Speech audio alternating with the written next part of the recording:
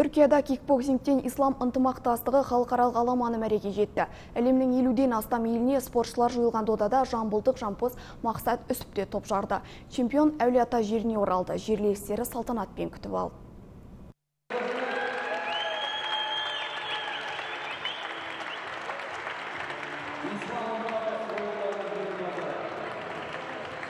Жақсылық үшкемпіров атындағы тараз арена спорт сарайында дене шынықтыру және спорт басқармасының өкілдері спортшының жақындары жиналған. Жиналған жандар жеңімпазды қошеметпен қарсы алып ізгі тілектерін айтысты.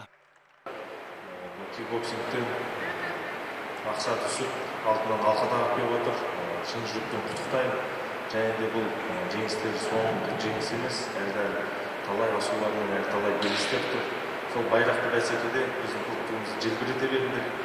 Сендерге шын жүректен құттықтап тілегімді айтамын. Байрақты бәсекеде кикбоксингтен 71 келіде өнер көрсеткен мақсат үсіп халықаралық додада қарсылас шақ келтірмеген. Спортшының сөзінше жеңіске жетуге сеп болған бапкердің де еңбегі зор. Үш кезең үш шаршы алаңға үш рет шықтым.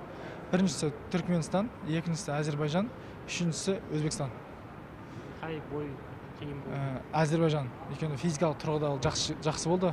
Онымен кездеспегенмін сол қиын болды. Маған бапкерім айтты алыстан істе сен бойың ұзын қолың ұзын деп. Сонымен дистанция сақтап алыстан істедім енді бапкерім айтқанын бұлжытпай орындағандаймын жеңіске жеттім. Түркияның коня қаласында өткен жарыста 55 елден келген 3500 спортшы бақ сынаған. Биыл бесінші мәрте жалауын желбіреткен дүбірлі додада қазақстандық спортшылар 27 алтын 23 күміс 39 қола жүлдені еншілеп отыр.